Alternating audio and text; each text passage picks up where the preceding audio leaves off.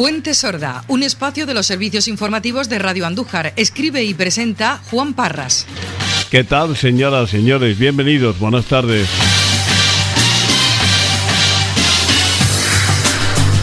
Actualmente nuestra tasa de paro juvenil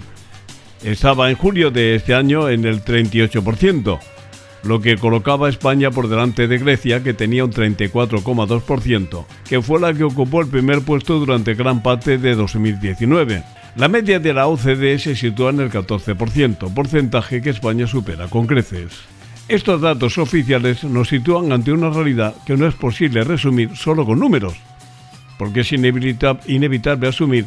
que lo que genera es un drama que no todos llevan bien y que para muchos supone un fracaso personal del que no se recuperan nunca. Y no importa que los jóvenes se incorporen al mercado de trabajo con estudios superiores, básicos o medios, porque en todos los casos y circunstancias se trata de personas con necesidades concretas que no siempre obtienen y que les limitan sus vidas a ciclos estrechos y viciosos.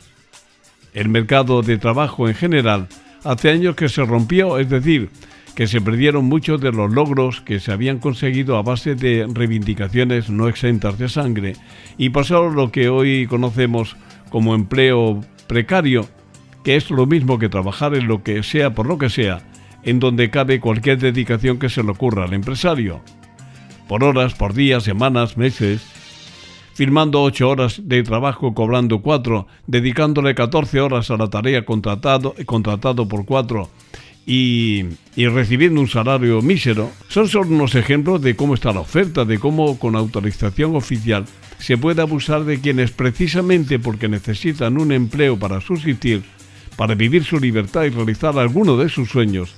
aceptan sin más lo que les ofrecen. La presión que ejerce el mundo empresarial sobre el Estado, que ha vivido, por cierto, unos años de gloria que difícilmente se volverán a repetir, con una reforma laboral diseñada a su medida, parece que comienza a ceder en beneficio del diálogo y el consenso, que hasta ahora no formaba parte de las formas de entendimiento entre las partes. Las historias personales que concurren en un tema de tanta trascendencia entenderán ustedes que estén ligadas al equilibrio psicológico de todas ellas, porque la descomposición paulatina que reciben no ayuda precisamente a mantener la ilusión por continuar. El hecho de que Actualmente sean los padres y los abuelos los que mantengan a miles de familias, a miles de jóvenes sin empleo,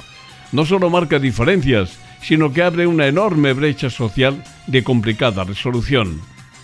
Es posible que la formación profesional sea la panacea de parte de nuestros males, o los estudios impuestos, es decir, que solo se puedan cursar las carreras que demandan especialistas, o que volvieran los aprendices, que, que eran aquellos menores que se iniciaban en el mundo del trabajo observando lo que hacían los empleados mayores, que no recibían paga alguna y que en un par de años pasaban a engrosar la plantilla como uno más.